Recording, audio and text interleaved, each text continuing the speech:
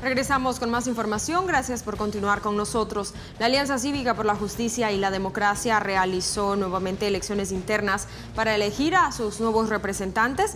Y bueno, de esta elección salió como resultado el nombramiento de representantes eh, de diferentes sectores y comisiones de trabajo y también en este caso el coordinador general de la Alianza Cívica que se mantiene en el cargo el doctor Carlos Tunerman y director ejecutivo Juan Sebastián Chamorro como precisamente director ejecutivo. Para conocer más sobre la nueva estructura de este movimiento y los retos a los que se enfrentan en este contexto que se aproximan elecciones para el año 2021, hablaremos con el señor José Dávila, quien es de la Comisión de Comunicación y Posicionamiento de la Alianza Cívica. ¿Qué tal, señor Dávila? Gracias por brindarnos su tiempo a esta hora y conversar con nosotros. Sí, muy bien, muchas gracias. Muchas gracias, Elizabeth, por esta oportunidad de conversar. Bueno, principalmente me gustaría que podamos iniciar esta conversación hablando sobre los objetivos para la realización de estas elecciones internas de la Alianza Cívica por la Justicia y la Democracia. Bueno, la Alianza Cívica se rige por estatutos que fueron aprobados eh, eh, en estos, estos meses, recientes meses, luego de un proceso que, que, le llevó pues, a la Alianza. La Alianza tiene dos años eh, los estatutos eh, eh, señalan las instancias, señalan los objetivos.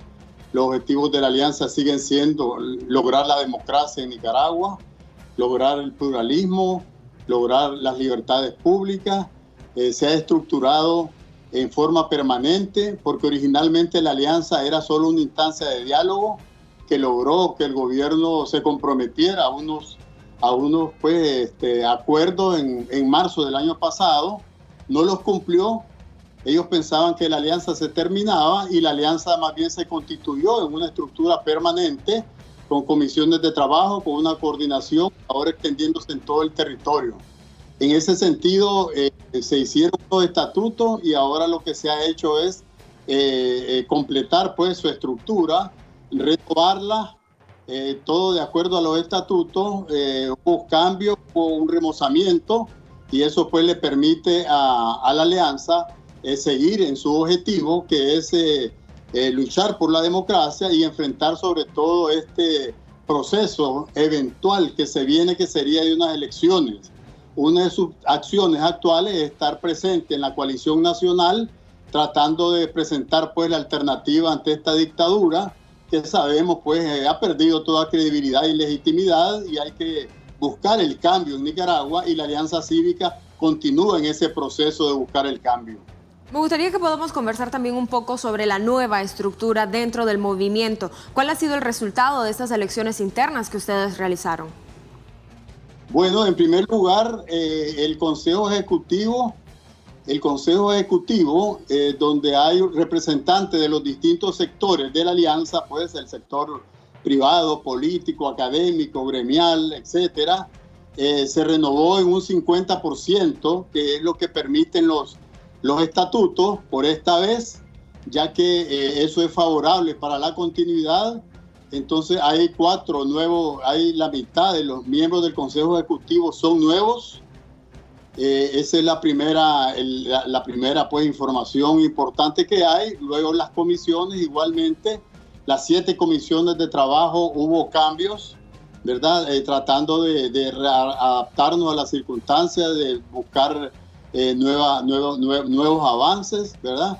Y la dirección se mantuvo, que su coordinador general es el doctor Carlos Tunerman, su secretario, su director ejecutivo Juan Sebastián Chamorro, y el secretario técnico es Juan Carlos Gutiérrez. Eso se mantiene. Quizás hay un elemento nuevo que es que ahora la alianza ya está en todo su proceso de, la, de las directivas nacionales en los departamentos pues, y municipios del país y se va a tener un nuevo sector dentro de la alianza que va a representar a las directivas eh, departamentales, o sea, el territorio. Eh, apenas se culmine ese proceso, se van a integrar los delegados de los de los departamentos y del interior del país a las distintas estructuras. Entonces tenemos, un, eh, tenemos el Pleno, que es la máxima autoridad, compuesta por 52 miembros. Luego está el Consejo Ejecutivo, compuesto, dirigido por el doctor Tunerman y compuesto por ocho eh, directivos, luego están las comisiones con sus coordinaciones, que son siete, y eh, eh, luego pues está el, el, el, Pleno del Consejo Ejecutivo y las comisiones, que son las estructuras principales de la alianza, ahora abocada al esfuerzo de unidad en que estamos, pero siempre con la idea de la alianza de ser un aporte importante en la democracia que se está buscando. Por eso la alianza es pluralista, es democrática, es pluriclasista y se tiene un concepto de la democracia del país que queremos. Hay mucha juventud, el sector juvenil es muy importante en la alianza. Están ellos en, la, en el Consejo Ejecutivo, están en las comisiones de trabajo y son los encargados mayoritariamente de estar organizando el país, eh, porque ahí se refleja también la Nicaragua que se quiere. Entonces la Alianza Cívica continúa con su trabajo, su objetivo original que es luchar por derrotar a la dictadura por la vía cívica en unas eventuales elecciones que no están seguras todavía porque con esta dictadura no hay garantía de nada, pero ante una eventualidad la Alianza Cívica está dispuesta a participar una vez se den las condiciones, la reforma, eh, o sea, esto es parte de la continuidad de la lucha de la Alianza Cívica por la justicia y la democracia. Precisamente eso me da paso a la siguiente consulta. ¿Esta reestructuración interna de la Alianza Cívica es de cara a las próximas elecciones del año 2021? Es decir, ¿podría la Alianza Cívica eh, participar o tener una representación dentro de las elecciones 2021?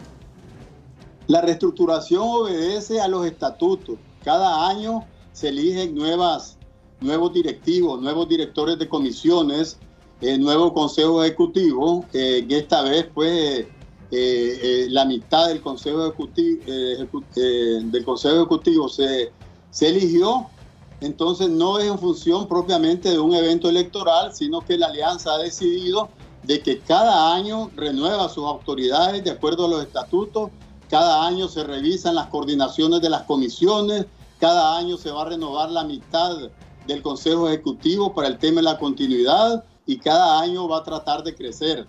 Ahora bien, como estamos en, en, un ambiente ya preelectoral, porque eh, la oposición hemos venido pidiendo a la dictadura que adelante las elecciones para resolver esta crisis grave que tenemos desde, desde el 2018. Ellos se han negado, pero ahora la constitución dice que va a haber elecciones el próximo año, obligatoriamente. No sabemos todavía si, si, si la dictadura eh, va a cumplir con la constitución, con ellos no se sabe nada. Sin embargo, eh, hay el movimiento en la oposición de prepararse para un eventual proceso electoral y la alianza está dispuesta a participar en esa unidad que busque el cambio. La alianza no es un partido político, no tiene casilla electoral, pero está dispuesta a una unidad con partidos y organizaciones para formar eh, un gran bloque eh, que pueda enfrentar electoralmente a la dictadura en unas eventuales elecciones. Entonces, por eso, la, por eso está la alianza en la coalición nacional, porque se trata de construir una unidad que debe ser amplia, que debe seguirse fortaleciendo, que debe seguir ganando en credibilidad y legitimidad para una participación eventual en las elecciones. Pero la Alianza Cívica en sí no es un partido político, pero sí es una institución política porque quiere el cambio en Nicaragua, porque quiere la democracia, porque quiere derrotar a la dictadura por medio de unas elecciones libres, honestas y que sean observadas por la comunidad internacional. Si no son así, no se participaría en las elecciones momento, la Alianza Cívica, hasta donde tenemos entendido momentáneamente, eh, ha parado su participación dentro de la coalición nacional. Sin embargo, ¿hasta qué periodo podría reintegrarla, tomando en cuenta precisamente el tema de las elecciones 2021 y también el tema de eh, enfrentarse a un partido frente sandinista que continúa de alguna manera gobernando y, aunque sea una minoría, continúa unido? La Alianza Cívica fue la que convocó con la UNAP a la coalición nacional. Fue la Alianza Cívica decidió llamar a una unidad total contra la dictadura eh, y entonces se dio el inicio en lo que se llamó la mesa multilateral a crear los estatutos de la coalición. Tardó cuatro meses. Ahí pues la Alianza Cívica dio sus aportes, sin embargo la Alianza Cívica no quedó muy conforme con los estatutos sin embargo, por consenso los aprobó, participó y eh, hubo cierta dificultad. Ustedes se acuerdan de firmar la coalición, eh, hubo que eh, hacer unas propuestas, la reserva, y se firmó la coalición y ahí se acordó que iban a haber dos puntos que se iban a tratar con prioridad. Un punto fundamentalmente, lo que se llama el punto transitorio, que es que la Alianza Cívica quiere que las cosas importantes en la coalición nacional, las cosas estratégicas, no se decidan por votaciones, sino por consenso.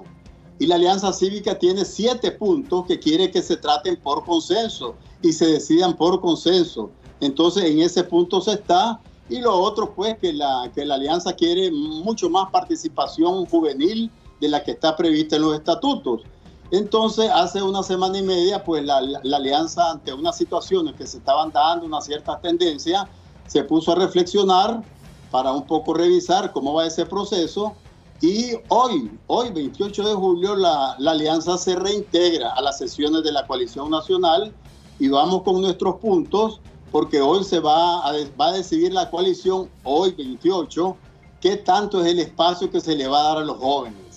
Igual, igual vamos a ver cómo está la situación porque se ha hablado bilateralmente con los miembros de la coalición a ver cómo va el tema este del consenso, porque no nos, no nos gustan los bloques, las aplanadoras y queremos que las cosas sean por consenso, porque hay que ser, tener seriedad, hay que tener, eh, buscar toda la credibilidad ante Nicaragua, de tener eh, decisiones buenas por consenso. Entonces la alianza se reintegra hoy a la coalición, a las sesiones de la coalición, con la esperanza de que en estos días pues haya habido suficiente reflexión y que se decida pues hoy, por ejemplo, hoy se trata el tema de los jóvenes.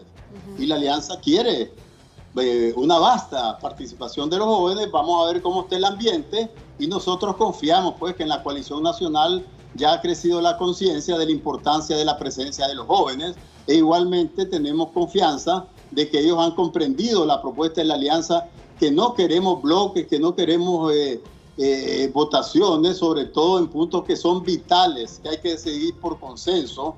Por ejemplo, ante un eventual proceso electoral, queremos que sea por consenso la, alianza electoral, con qué casilla de partido, queremos que la selección de candidatos también sea por consenso y que las reformas electorales sean por consenso.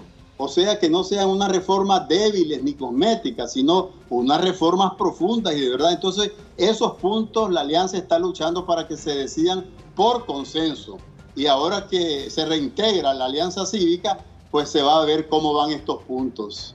Bueno, señor Dávila, muchas gracias por su tiempo. Vamos a seguir pendientes de cómo se desarrolla eh, el contexto acá en nuestro país y también cómo se desarrollan las cosas dentro de la coalición nacional y para la Alianza Cívica. Muchas gracias. Un placer para nosotros. Pausa comercial, en breve regresamos, no le cambien.